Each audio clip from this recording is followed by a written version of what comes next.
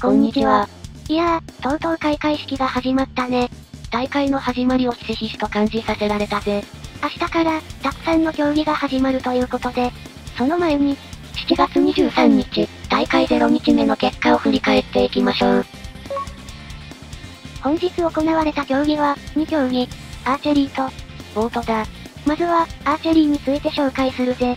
本日アーチェリーは、予選が行われた。予選は、男女それぞれ64名の選手が72社720点満点うち順位を決める。個人戦は、1位から64位まで順位をつけ、1対1で行われるトーナメントの、トーナメントの1決めを行う。団体戦は、各国3名の予選の点数を合計して、トーナメントの1決めを行う。予選では、即敗退することはないが、今後のトーナメントを決める重要な一戦となる。それでは、予選の結果を見てみるぜ。まずは、男子から。男子は、日本人3名が出場した。古川選手、武藤選手、川田選手だ。結果は、武藤選手が678点が5位。川田選手が661点で22位。出場5回目の古川選手は、649点の46位となった。個人のトップ3を見てみると、1位は、韓国の、キム・ジュドク選手、688点。2位はアメリカの、ブレイディ・エリソン選手、682点。3位は、韓国の、オジンリョク選手、681点となった。団体戦では、日本は4位、1998点となった。団体戦の1位は、個人戦1位、3位、4位の選手がいる韓国で2049点。2位は、オランダ、2012点3位は、中国で、2011点となったぜ。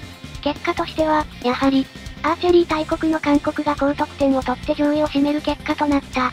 日本人選手では、武藤選手が5位と良い結果を残したのが印象的だぜ。まだまだ、ここからトーナメントで挽回可能なので、全選手各国頑張ってほしいぜ。次に女子の結果だぜ。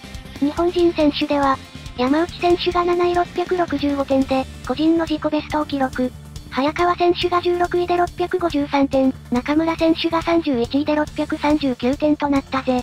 個人トップ3は、韓国人選手が独占をして、1位のアンサン選手が680点で五輪記録を更新したぜ。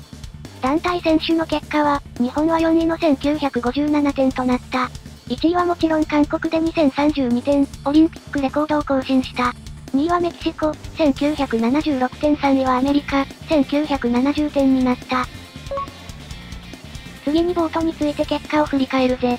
今日は、一里が両手に1本ずつ持って行う。シングルスカル、ダブルスカル、クオドルプルスカルが行われた。男子シングルスカルでは、日本人の荒川選手が第6組に参加して、2位となって、準々決勝に進んだぜ。荒川選手は、この種目で1996年のアトランタ大会以来、25年ぶりに日本代表として参加して期待がかかるぜ。ということで、7月23日金の大会結果だったぜ。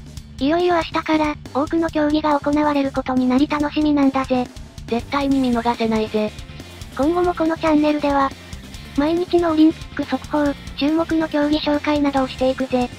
よければ、コメント、チャンネル登録お願いしますだぜ。それでは、ご視聴ありがとうございました。